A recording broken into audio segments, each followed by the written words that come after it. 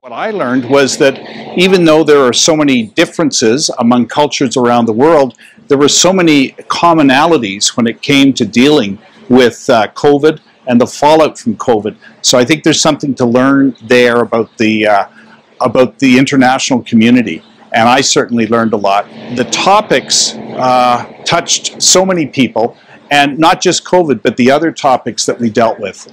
And uh, I, have never seen uh, so many topics, uh, such uh, I guess sensitive topics, covered in one compilation like this. So it was very interesting, very rewarding for me to work on this book.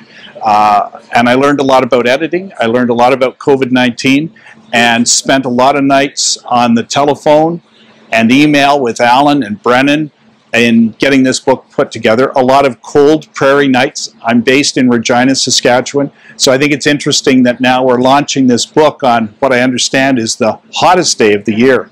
But it's great that it's out, and I was pleased to be able to uh, work with Allan and all of the authors on this project. Thank you. Thank you. Thank you.